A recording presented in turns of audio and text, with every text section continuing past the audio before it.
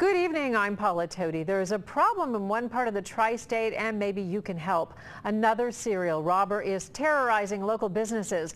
First it was the sock hat bandit, now we have the shirt mask bandit. He's hit seven businesses in the last eight days and shows no sign of slowing down. Local 12's Angela Ingram is live in the newsroom with why his actions are really alarming police. Angela? Paula, officers have some serious concerns because in one case he put the gun to a customer's back. In another, he pointed it at a 13-year-old boy and threatened to shoot him. He covers his face partially with a t-shirt while holding people at gunpoint.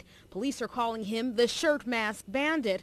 The most recent robbery was at this Dollar General on Cave Run Drive in Erlanger. There was a 13-year-old inside the store. He pointed a pistol at that boy, ordered him out of the store, and then turned his attention to the cash register. And Erlanger police have pictures of the man from multiple angles in various robberies in northern Kentucky. In just eight days, investigators have linked seven robberies to the same person. Two have been in Erlanger, including one on July 25th at Racer's gas station. He walked up behind a, a, customer who was already at the counter and put the gun in, in the customer's back, told him if he moved he would put a hole in him, and then he gave the clerk the instructions to give him the money out of the register. The surveillance photos are coming in from Covington, Fort Mitchell, Crescent Springs, Florence, and this BP in Fort Wright. In addition to gas stations and stores, a Skyline restaurant was also hit, and although no one has been hurt at this point,